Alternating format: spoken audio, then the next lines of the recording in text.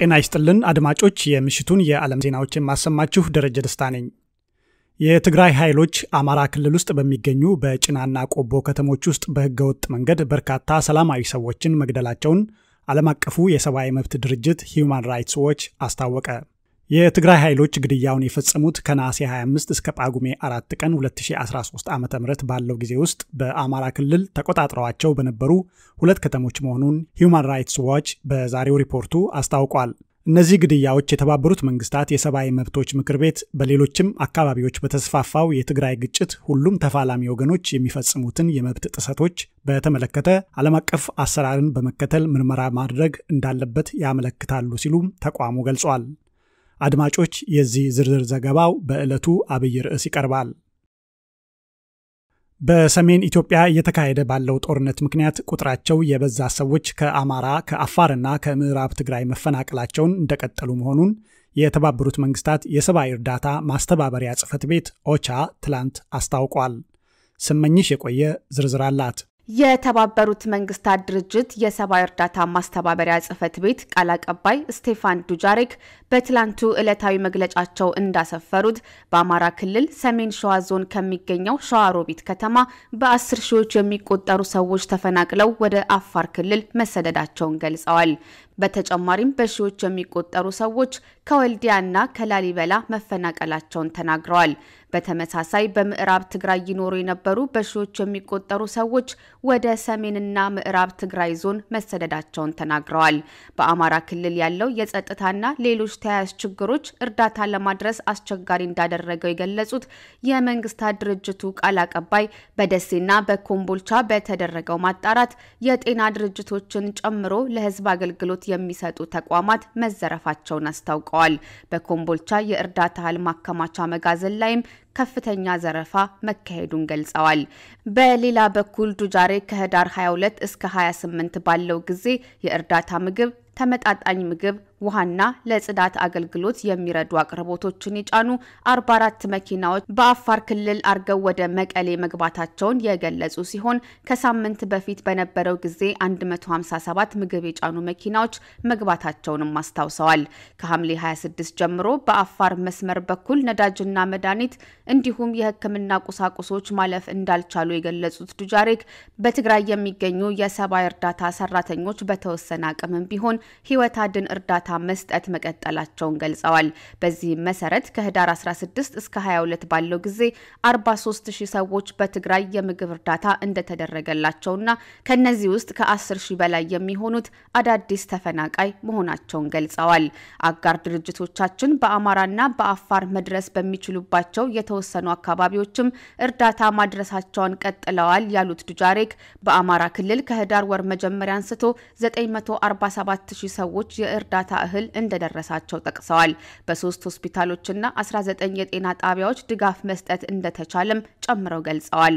በተመሳሳይ በአፋር ክልል ባለፈው ሳምንት ለ16 ሺህ ሰዎች የእርዳታ እህል መከፋፈሉን፣ 26 ሺህ ለሚሆኑ ተፈናቃዮች ደግሞ የውሃና የንጽህና ቁሳቁስ አቅርቦት መደረጉን ዱጃሪክ በመግለጫቸው አስታውቀዋል። ሩሲያ በማዕከላዊ አፍሪካ ሪፐብሊክ የምታደርገው ተጽዕኖ እያደገ መምጣቱን ዓለም አቀፉ የቀውስ አስወጋጅ ቡድን አስታወቀ።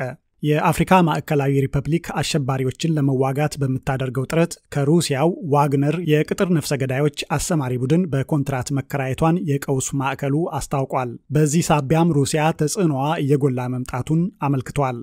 የአውሮፓ ህብረት ደግሞ የሩሲያው ግል ኩባንያ ዋግነር በዩክሬን በሶሪያና ግጭት በበረታባቸው በበርካታ የአፍሪካ አገሮች በመሰማራት ከፍተኛ ችግር እየፈጠረ ነው በሚል የፊታችን ሰኞ ማዕቀብ ሊጥልበት እየተዘጋጀ መሆኑን የአሶሺየትድ ፕሬስ በዛሬው ዘገባው አመልክተዋል። የሩሲያ መንግስት ድርጅቱ ብላክ ዋተር ግሩፕ ከተባለውና መጥፎ ዝና ካለው የዩናይትድ ስቴትስ የግል ድርጅት ጋር ተመሳሳይ መሆኑን ገልጾ ይሁን እንጂ የሩሲያ መንግስት ከዋግነር ጋር ምንም አይነት ግንኙነት የሌለው መሆኑን አስታውቋል። አድማጮች ይህ ዜና የሚተላለፍላችሁ ዋሽንግተን ዲሲ ከሚገኘው የአሜሪካ ድምፅ ራዲዮ ነው። የቡርኪና ፋሶ ፕሬዚደንት ማርክ ክርስቲያን ስልጣናቸውን በገዛ ፈቃዳቸው በለቀቁት የቡርኪና ፋሶ ጠቅላይ ሚኒስትር ሳቢያ በጂሃዲስቶቹ አማጽያን ላይ ጠንከር ያለ እርምጃ እንዲወስዱ ግፊት እየበረታባቸው መሆኑ ተነገረ።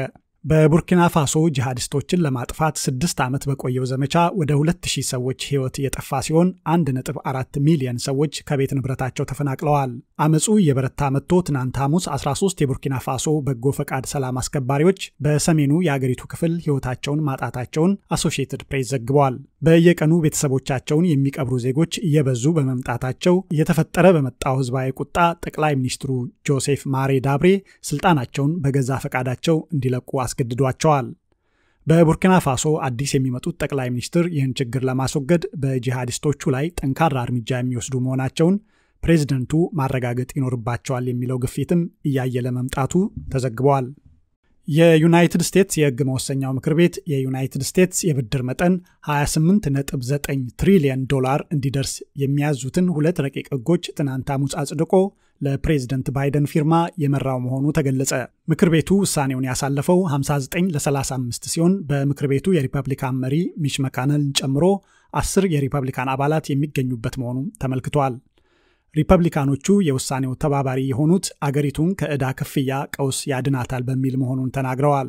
ዩናይትድ ስቴትስ በቻይናው የቤጂንግ የክረምት ኦሎምፒክ ላይ የጣለችው የዲፕሎማሲ ዕቀባ ውጤታማ እንዲሆን ብዙ አገሮች ተባባሪ መሆን ይኖርባቸዋል ሲሉ ባለሙያዎች አሳሰቡ። ይሁን እንጂ አንዳንድ አገሮች ከቻይና ጋር ባላቸው የምጣኔ ሀብት ትስስር የተነሳ ተባባሪ ላይሆኑ ይችላሉ ብለዋል። እስካሁን የባይደን አስተዳደርን ውሳኔ ተከትለው የዕቀባው ተባባሪ የሆኑ አገሮች እንግሊዝ፣ ካናዳ፣ አውስትራሊያና ኒውዚላንድ ናቸው። የሚቀጥለው የበጋ ኦሎምፒክ አዘጋጅ የሆነችው ፈረንሳይ ተባባሪ እንደማትሆን አሳውቃለች። ጀርመንና ኖርዌይም ውሳኔውን ገና ያላሳወቀው የአውሮፓ ሕብረትን እየተጠባበቁ መሆኑን ገልጸዋል። ከቻይና ጋር ጥብቅ የንግድ ትስስር እንዲኖራቸው የሚፈልጉ እንደ ፖላንድና ሃንጋሪ የመሳሰሉት የምስራቅ አውሮፓ አገሮች ውሳኔውን ለመቀበል ስለሚቸግራቸው የአውሮፓ ህብረት አቋም ምን ሊሆን እንደሚችል ግልጽ አለመሆኑም ተነግረዋል። የኒውዮርክ ከተማ ምክር ቤት ዩናይትድ ስቴትስ ዜግነት የሌላቸው ነዋሪዎች በከተማው አስተዳደር በሚካሄዱ ምርጫዎች መሳተፍ ይችላሉ ሲል መፍቀዱን ትናንት ባሳለፈው ውሳኔ አስታወቀ። ውሳኔውን ተከትሎ በኒውዮርክ ከተማ ነዋሪ የሆኑ ወደ 800 ሺህ ምርጫውን ሂደት መቀላቀል የሚችሉ መሆኑም ተመልክቷል። በውሳኔው መሰረት ህጋዊ የስራ ፈቃድ ግሪን ካርድ ወይም ዜግነት ባይኖራቸውም ማናቸውም ህጋዊ ሰነድ ያላቸው ሁሉ መምረጥ የሚችሉ መሆኑም ተነግሯል። ይህ መብት ኒውዮርክ ውስጥ ብቻ እንጂ በሌሎች ክፍለ ግዛቶችም ሆነ በፌዴራል ደረጃ ተግባራዊ የሚደረግ አለመሆኑን በዘገባው ተገልጿል።